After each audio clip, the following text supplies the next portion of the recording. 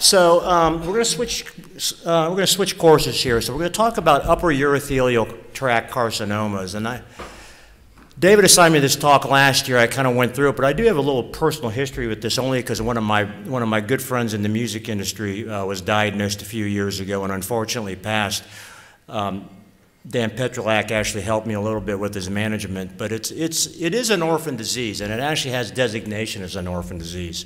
So these are my disclosures. As many of you have heard me talk over the years, uh, I, I'm, I'm a little bit of a surgical historical buff. And so does anybody in the room recognize this gentleman? So this is the great uh, Alfred Blalock. So Dr. Blalock uh, basically uh, was a Hopkins grad, and uh, did some of the early work in uh, vascular hypotension and actually did the first surgery for tetralogy of Fallot. And uh, there's actually a great HBO movie on him it's called Something the Lord Made. And uh, he basically developed this operation. So these ARS questions, only because I, David gives me enough crap, I like, these are directed only at Dr. Crawford. So, David, Dr. Alfred Blalock was initially accepted into the urology program by Hugh Hampton Young at Johns Hopkins. Is that true or false? That's actually true because he was, uh, he, was, he was thought to be an average student, and Dr. Halsted did not accept him into the surgery program uh, at Hopkins. So he, he entered into the urology program, and within a couple years then, transferred to Vanderbilt to train under Barney Brooks at Vanderbilt, and his co-resident in medicine was actually Tinsley Harrison. And the pathology resident at the time at Vanderbilt was Goodpasture. So, Dr. Dr. Crawford, Dr. Alfred Blalock died of metastatic urothelial carcinoma of a ureteral stump. True or false? I guess I have to say true. That is true. So he actually had, he was a chain smoker as a student at Hopkins, he actually had a nephrectomy done for a tuberculous kidney. Uh, they left the ureteral stump, and lo and behold, he was giving a presidential address at the American College of Surgeons, drops over, and he find, they find out he has metastatic disease from his ureteral stump after a nephrectomy. So I sort of use that as a backdrop. So we think of urothelial cancer, all of us who've trained historically in surgery, as this field change disease. So when you look at the data on urothelial cancers, we know there's about 80,000 new cases, and the majority of them we know are TCCs of the bladder. But upper tract, uh, upper tract cancers, and we're going to define that as renal pelvis and ureter, uh, they're, they're interesting tumors. They're, they, they exhibit more microsatellite instability and hypermethyl, hypermethylation. And different from uh, urothelial cancer of the bladder, about more than 60% of upper tract tumors present with muscle invasive disease. So they're morphologically similar to their bladder, uh, their bladder colleague, but they're phenotypically and genotypically quite different. So I, uh, Gary Steinberg or, uh, left me this slide. So we know that this is your typical breakdown of urothelial carcinoma. And again, we know that the majority of them are muscle, or excuse me, uh, the majority of them are bladder. And when I was in training at Vanderbilt, we, you know, we always knew, we, and we were always taught us that rule of 80-20, right? But about 5% come from the linings of the kidney, 2% are in the ureter, and 1% is usually in the prostatic urethra. The epidemiology for upper tract tumors, the mean age is about 73. About 3% of the time it can involve both upper tracts. 17% of the time it's concurrent with bladder cancer. And we know that the incidence of ascending tumors in patients with existing history of bladder cancer, it's about 2 to 4%. But if, it's, but if you have CIS in the bladder, it can be as high as 20 to 25% at 10 years. In terms of descending tumors, other words, if you have an upper tract tumor as your primary, new bladder cancers, um, you know, basically can result in up to, uh, you know, up to 50%. So again, we know this is field change disease. It has your typical TMN staging system. But again, different from bladder, six, greater than 60% of the time, it presents as a high-grade tumor. That's very different, that's very different from you know, our typical bladder cancer patients. You know, this is, this is an old slide when we used to do intravenous pyelograms. These generally presented with a filling defect. Now, obviously, with extensive use of uh, CT, CT urograms with IV contrast, we don't see these films anymore. You know, really the problem that we run into is really a diagnostic problem. With the advent of fiber optics, we, you know, we can access the upper tracts very nicely now with flexible ureteroscopy. But again, because of the anatomy of the collecting system, all the little bends and curves that we have to basically navigate in order to get into the calyces and the minor calyces, as many of us have done a lot of flexible ureteroscopy, it's oftentimes easy to visualize, but once you start putting instrumentation, whether it be a you know, whether it be a, a brush, a laser probe, all of a sudden we have difficulty with basically the deflection. So diagnostically, from an imaging standpoint, from a visualization standpoint, we can find these, but however, sometimes the management of these can be quite difficult. Now, like everything else, um, you know, as, as we hear for every tumor type, we are getting to understand the, the genomic characterization of tumors. And I really didn't appreciate this till I started doing research on this talk, is that uh, this is a paper out of New York, and basically there is, there is an increased incidence of, of really increased mutational loads in patients with upper tract urothelial carcinomas and really highly, um, uh, it, it is the third most common tumor in people that have documented Lynch syndrome. So when you look at Lynch syndrome, which is a common inherited cancer syndrome, urothelial cancer is the third most common cancer. As many as up to 20% of people with Lynch syndrome uh, will have urothelial cancers. They tend to be women, younger age of onset, ureteral, not necessarily renal pelvis, and they have you know, bilateral disease. So again, whether we're talking about ureteral tumors, and clearly we're becoming more aware of this, and we'll talk about this tomorrow, this, this concept of germline mutations is something that all of us who are seeing these patients, we need to do a better job of taking family histories with regards to managing these patients. So again, this is, uh, I showed this, David knows this, so, you know, so between, even though they're urothelial cancers, sort of upper tract and lower tract disease, uh, being a music person living in Nashville, so this, if you remember this album, and actually uh, Dan Fogelberg actually died of castration-resistant prostate cancer. They seem to be twin sons of different mothers. Some people have actually speculated that some of this may be related to the embryology of the urinary, of the urinary tract. If you recall back in the day, we have, you have the pronephros, the mesonephros, the metanephros. You have induction as the ureteric bud comes up. And the question is, can that be, can that be a rationale, some sort of embryologic mechanism why these renal pelvic tumors actually have, uh, they act different from their bladder cancer colleague.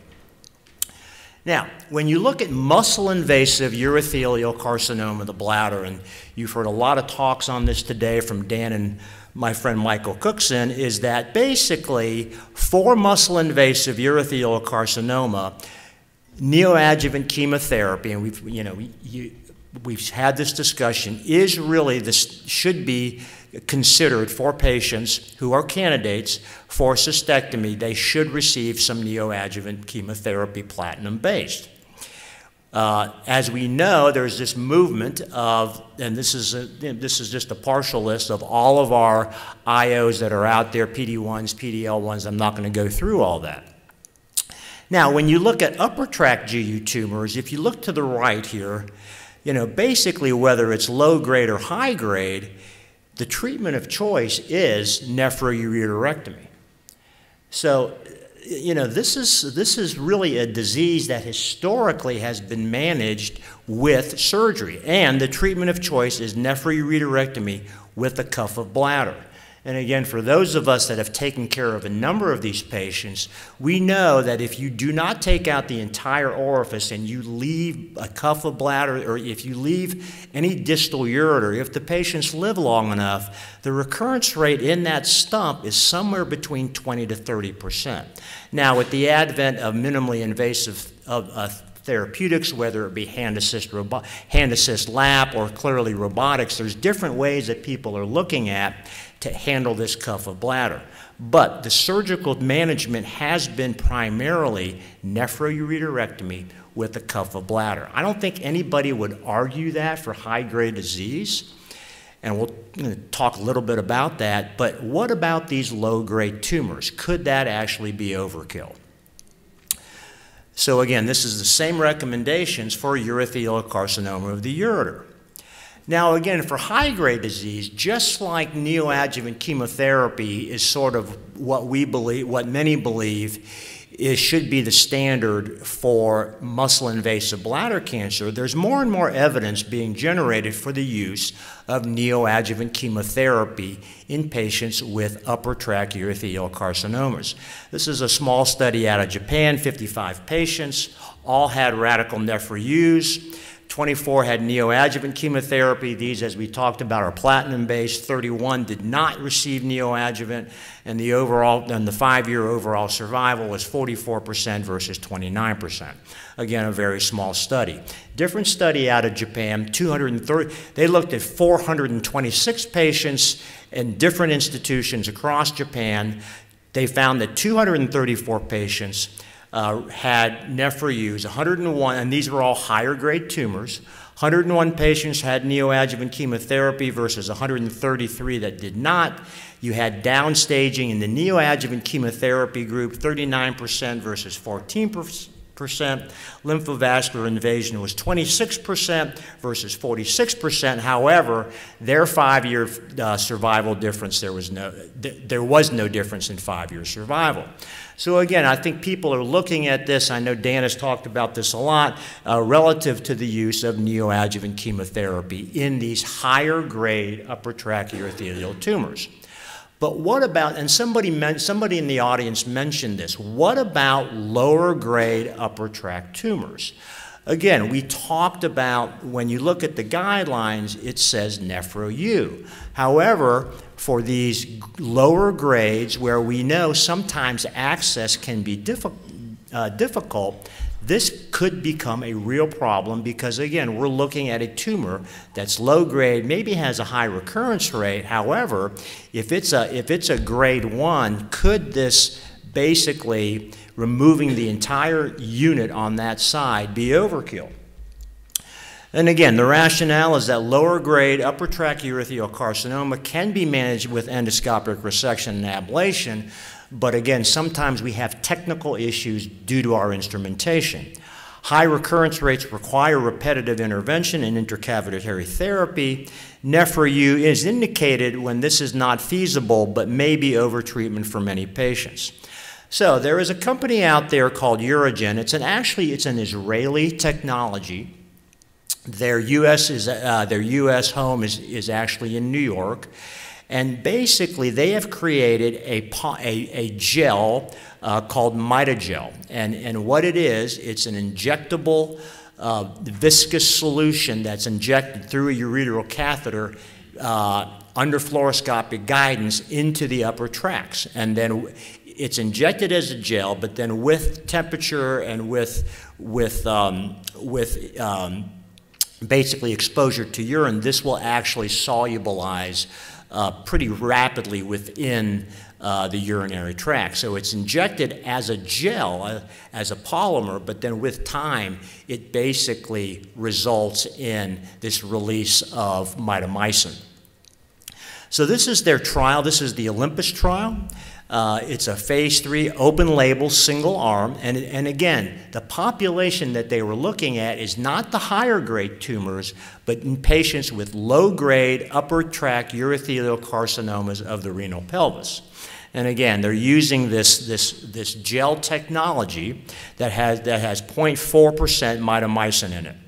And so they, you actually have the, you, you, the screening is that you have to have an upper tract lesion, and you have to have a visible lesion that they can actually monitor. I think it can be, it was like up to one centimeter. So they get a, a gel administration, again, injected through a ureteral catheter once a week for six weeks. They're then reevaluated, and they're really looking for primary disease evaluation then if you've had a complete response of that, of that treatment lesion, you then go into this maintenance phase where you get, the, uh, where you get administration of the MitoGel uh, essentially once a month up to 11 doses. So again, the, the key here is that this is, this is injected as a gel through a ureteral catheter, but again, this is for low-grade disease. This is not for high-grade disease. So this is the inclusion criteria. They have to be treatment naive or recurrent, low grade, non-invasive, tumor located in the renal pelvis, the infundibuli, or the calyces, deemed appropriate for conservative renal sparing endoscopic management. Again, they have to, they have, to have a ureteroscopy performed within the last eight weeks, and you have to have one measurable tumor that they can monitor response. And again, we don't, they didn't want any CIS, no high-grade tumor, no BCG, no invasive urothelial carcinoma, and no systemic therapy. So as you might expect, they have a number of, a number of institutions involved in this trial, but these, these patients are really difficult to find. So they actually uh, are trying to enroll 74 patients can't remember, I think they're up to 50 something at this point or 60 something, and, and they actually have fast track designation to hopefully get approval um, uh, for uh, orphan disease status. So again, this is the dosing, four milligrams per ml of this gel. It fills up the entire renal pelvis. It's administered via a ureteral catheter under fluoroscopy. And again, the primary endpoint is the percentage of patients that had a complete response absence of that measurable lesion after that lead-in period of six of once a week for six weeks, pause for six weeks, and reevaluate. Additional endpoints were durability, percent of patients receiving follow-up maintenance therapy, uh, basically at visit four, and then all the way out to about 12 months, partial response uh, at, their, at their first evaluation, as well as safety and tolerability. This is what the demographics look like in this trial, 21 males. This was, this was the first 34 patients. Here was the mean age. Unreachable tumors at baseline in 9% of, in, in 20, about 25% of patients, and multiple tumors in over 50%. They had done some earlier, earlier, earlier studies and about in the, some of their initial work, they had about a complete response of about 20%. Then they, have a they had a compassionate use program where the complete response was about 44%. Of those patients, uh, four remained in complete, uh, in complete remission and then obviously this was the first interim, interim analysis of this Olympus trial when they had 34 patients enrolled. 20 patients uh, achieved a CR, 13 have reached three months, uh, four reached six months. So we're going to start to see more and more data with this. I know Seth Lerner is very involved in this trial. Here are the adverse events, and the one that sticks out is this concept of ureteral stenosis of about 30% nausea, flank pain. Obviously, this can be, a, you know, the question is, is this related to drug effect, or could it just be related to putting up a ureteral catheter, causing a mucosal defect, a ureteroscopy? It, it, it's sort of unknown. But the conclusions of this is that primary chemoablation of a low grade, again, I want to stress that, low grade upper tract urothelial carcinoma, it appears to be safe, it's feasible, it's associated with an acceptable adverse event profile. Preliminary efficacy data suggest primary chemoablation is possible. Durability of the CR requires longer follow-up. And again, we're going to, you know, they're trying to get, uh, get to 74 patients. So, in conclusion, perfect timing. Uh, current standard of care for upper tract tumors is nephroureterectomy. Despite similar histology, upper tract tumors compared to urothelial carcinoma of the bladder present with much more aggressive high-grade disease. Nephron-sparing surgery for low-grade upper tract tumors may be possible with potential approval of new agents to the market. neoadjuvant chemotherapy prior to radical, prior to uh, nephroureterectomy may result in superior oncologic outcomes. And with that, questions?